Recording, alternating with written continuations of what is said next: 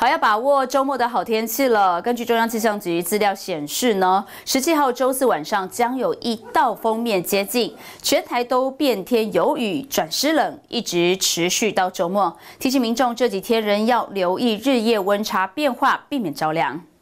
民众要把握好天气了。周四前仍是晴朗稳定天气，除了东半部的花莲、台东及恒春半岛有迎风面的地形雨势，东半部云量较多，气温落在二十七至二十九度，早晚略凉为十八至二十度。不过早出晚归，尤其骑车民众还是要穿上薄外套，避免着凉。十五、十六、十七这三天呢？大概风向都是一个东南风的天气哦，然后它十七号下午啊，大概北边有一个封面要下来，但是那个北边的封面呢，其实不是很强，它并没有压得很低，所以它对花莲的影响啊，其实不是很大哈。那十七、十八这个封面就通过了，那十九以后啊，整个花莲又开始偏比较偏东风的吹，比较偏东风的一个情形哦，然后甚至到二十的时候啊，又开始我吹偏南风，甚至有一些南风的分量上来，所以我们可以看到啊。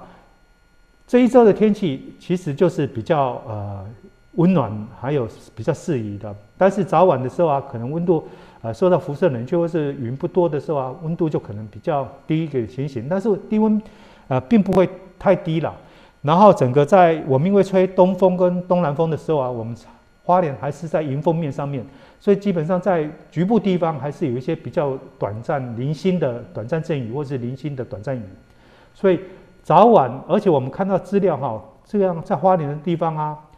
晚上到清晨的时候啊，还比较容易下雨。所以你如果是早出晚归的时候啊，可能你真的雨具需要携带，然后早早上出门还是带雨具。虽然白天温度很高，但是你晚上回家的时候，可能就会有降雨的情形。好天气到周四晚间，随着封面接近，周五各地变天有雨，东北季风增强，较为湿冷。虽然周六减弱，水汽减少，不过东半部仍有局部短暂雨。提醒民众日夜温差大，早出晚归，适时增添衣物，携带雨具。记者蒋邦彦、侯林师报道。